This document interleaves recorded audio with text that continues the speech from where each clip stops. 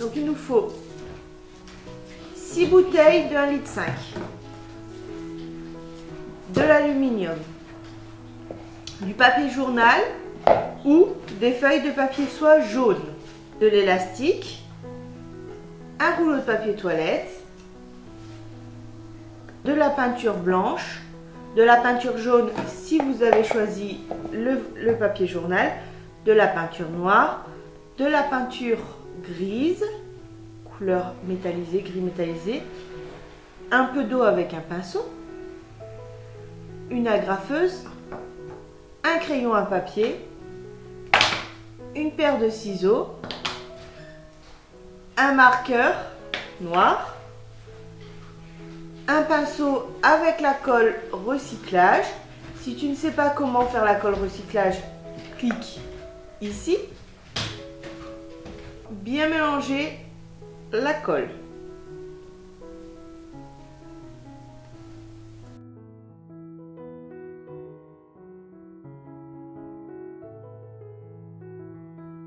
Tu as une bouteille complètement recouverte et solidifiée.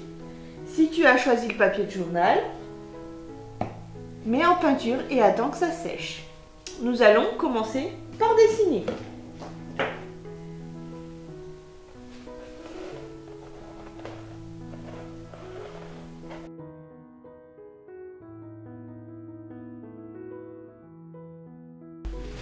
Une fois que c'est dessiné,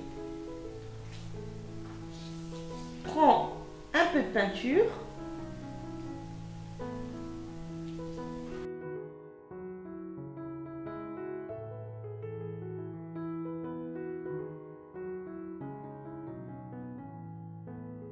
coupe un morceau de 20 cm environ.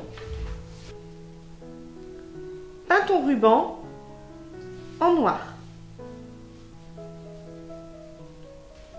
Une fois que ton ruban est bien sec, nous allons nous occuper de couper un œil ou deux yeux. Soit tu peins en couleur gris aluminium, soit tu mets de la feuille d'aluminium pour recouvrir ta lunette.